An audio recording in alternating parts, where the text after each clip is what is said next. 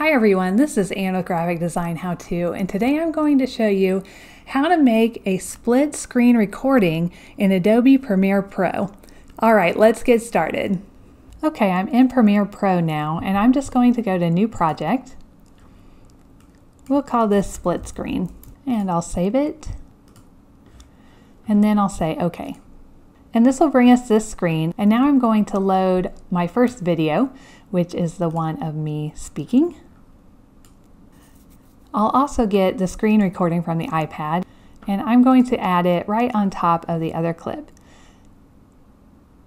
Now this has audio, I don't really need it, so I'm just going to hold Alt and click on that part and delete it.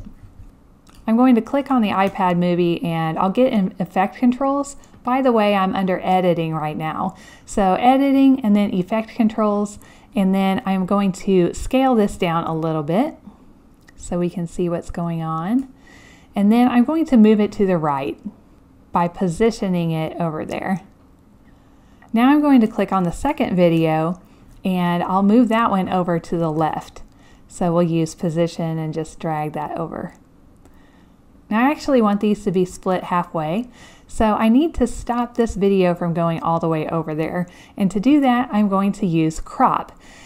Now right here at the bottom left, I'm in my project window. So I'm going to click these two arrows and choose effects. And then I'm going to search for crop. And here it is. And I'll just click and drag this onto my video.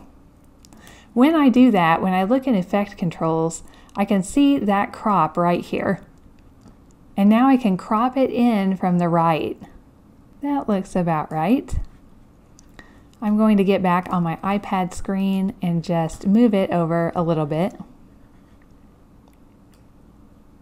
So it's about equal. Maybe we'll decrease the scale just a little bit. There we go. Now if I scrub through, you can see that both things are happening on each split of the screen. Now, if you have a real wide video like this one over here, you can also add a crop to this video. So you would just take crop and add it like that.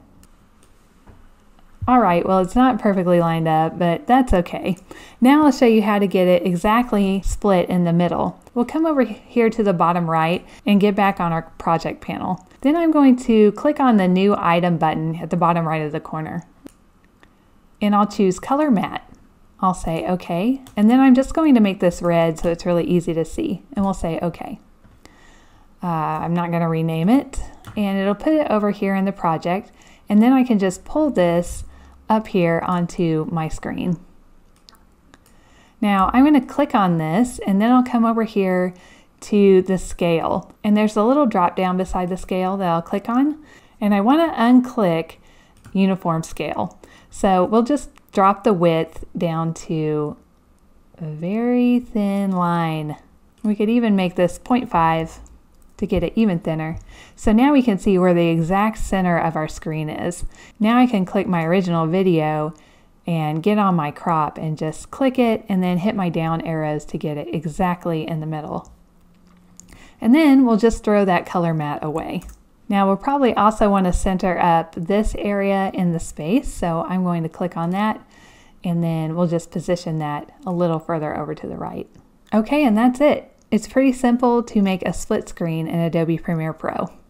Alright, if you like this video and you want to see more videos like this, I publish one every Thursday, so please click on the subscribe button and the little bell next to it and you'll be notified every time a new video comes out. Alright, thank you.